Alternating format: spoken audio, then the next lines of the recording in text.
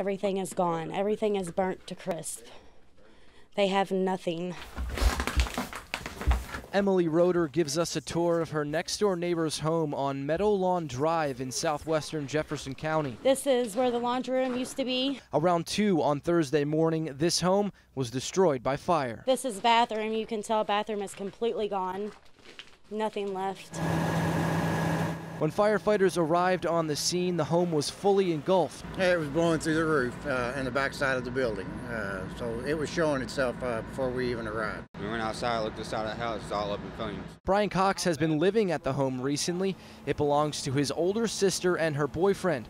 Cox was just about to go to bed when he knew something was wrong. Kind of smelled like something burning. That's when he sprang into action. We went upstairs and like on the roof above the steps, you could see the black smoke was already like stained the walls. And we pushed the door open, the smoke just started rolling out, and we ran outside. This is their bedroom that they were in when the fire started.